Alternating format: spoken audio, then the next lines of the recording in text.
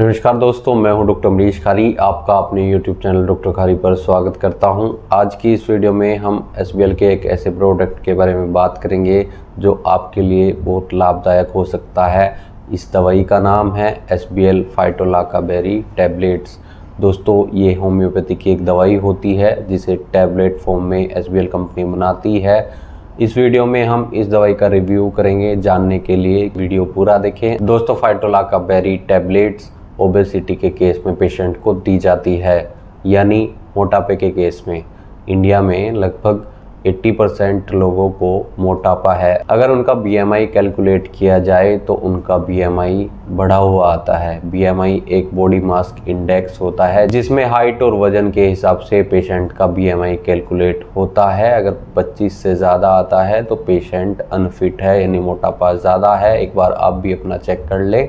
18 से कम में आप माल न्यूट्रिशन का शिकार हो सकते हैं, यानी कुपोषण का शिकार हो सकते हैं। 25 से 30 के बीच में ओवरवेट के केस आते हैं और 30 से ज़्यादा पर मोटापा ज़्यादा होने के चांस बढ़ जाते हैं। तो ऐसे में आपको अपना मोटापा कंट्रोल करना होगा। दोस्तों, मोटापे के ऐसे केस जहाँ पेशेंट ज़्यादा खाना खाता है और पेशेंट की एक्सरसाइज कम रहती है, यानी फ़िज़िकल वर्क बहुत कम रहता है जिसके कारण पेशेंट ज़्यादा कैलोरी बर्न नहीं कर पाता है और वज़न बढ़ना शुरू हो जाता है फैट आनी शुरू हो जाती है। सबसे पहले हमारे पेट पर यानी बैली पर पेशेंट को फैट दिखती है, उसके बाद धीरे धीरे लगभग कमर पर, गर्दन पर और फेस पर दिखनी शुरू हो जाती है।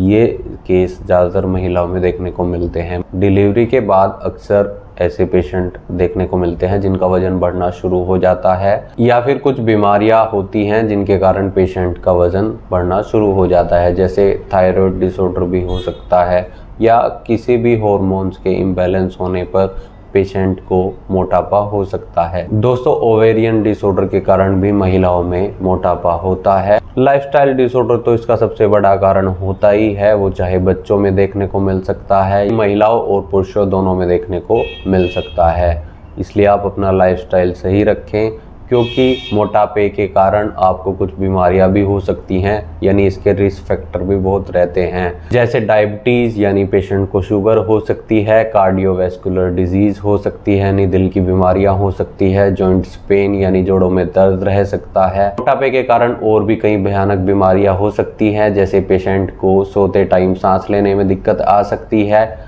या फिर कैंसर भी हो सकता है, जैसे महिलाओं में ब्रेस्ट कैंसर देखने को मिलता है। दोस्तों, ऐसे में आप एसबीएल की फाइटोलाका बेरी टैबलेट्स ले सकते हैं ये दवाई किसी भी टाइप के साइड इफ़ेक्ट हमारे शरीर में पैदा नहीं करती है और इस दवाई की आदत भी नहीं लगती है।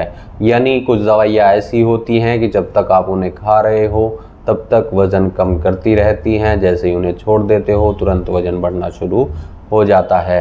दवाई के साथ साथ दोस्तों, आपको फ़िज़िकल वर्क भी थोड़ा बहुत करना होगा और अपनी डाइट भी हेल्दी रखनी होगी। आपको ऑयली फ़ूड छोड़ने होंगे और इसके अलावा आपको फास्ट फ़ूड अवॉइड करने होंगे। कॉफ़ी कैफ़ीन का अगर आप ज़्यादा सेवन करते हैं, वो भी आपको बंद करना होगा। इसके अलावा चॉकलेट्स और शराब का सेवन या स्मोकिंग करते हैं तो उन सब का भी परहेज करना होगा। दोस्तों एस बी एल फाइटोला का बेरी टैबलेट की डोज की बात की जाए, यानी इस दवाई को कैसे लिया जाता है?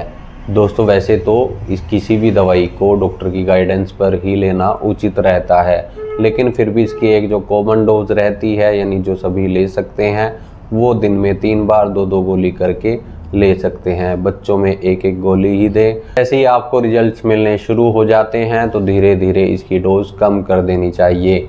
यानी जैसे ही आप दिन में तीन टाइम इसे दो दो टैबलेट करके ले रहे थे, तब इसकी एक एक गोली दिन में तीन टाइम लेनी शुरू कर दें। दोस्तों, अगर आप लंबे समय से मोटापे से पीड़ित हैं और आप इसका होम्योपैथी ट्रीटमेंट चाहते हैं या डॉक्टर की सलाह लेना चाहते हैं तो दिए गए व्हाट्सएप नंबर पर हमसे संपर्क कर इलाज या सलाह ले सकते हैं। वीडियो देखने के लिए धन्यवाद। चैनल को सब्सक्राइब करें। कमेंट सेक्शन में बताएँ कि हमारी वीडियोस आपको कैसी लगती हैं। Thank you